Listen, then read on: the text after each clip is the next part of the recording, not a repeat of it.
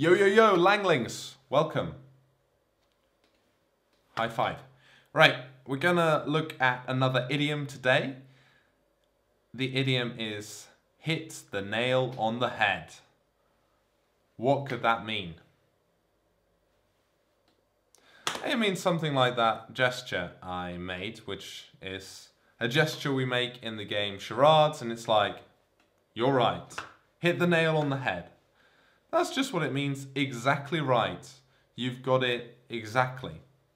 So giving a great example, maybe I ask someone to guess how many cakes I've eaten today.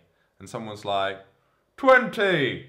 And I'm like, you hit the nail on the head. Yes, I ate 20 cakes today. Oh yes I did. They were delicious. This has been Charles Wood English Teacher, your language tutor online. Improving our English together. Having fun. Subscribe. Learn English.